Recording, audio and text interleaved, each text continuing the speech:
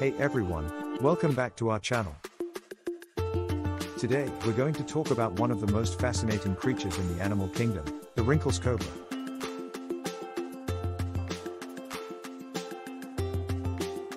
Did you know that this snake has some incredible effects on the environment and the human body?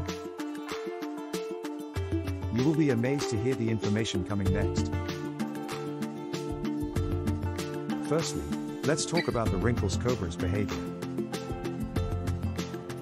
Did you know that this snake is one of the few species of snakes that can spit venom?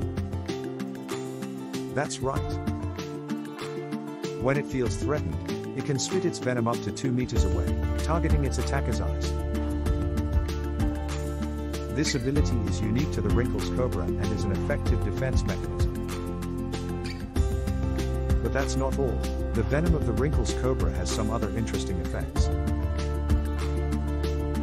Know that it contains neurotoxins that can cause paralysis? The venom can also cause severe pain, respiratory problems, and even death in some cases.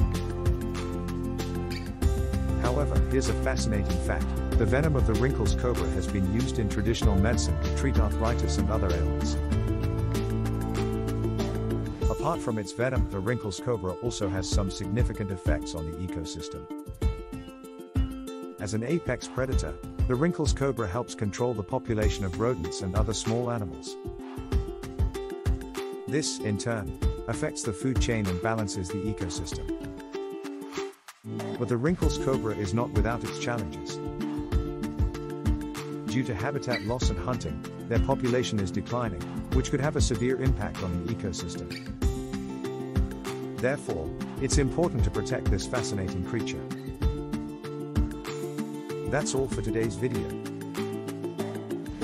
We hope you enjoyed learning about the Rinkhals cobra its effects on the environment and the human body. If you found this video informative, don't forget to hit the like button and share it with your friends. And as always, subscribe to our channel for more amazing content. Thanks for watching.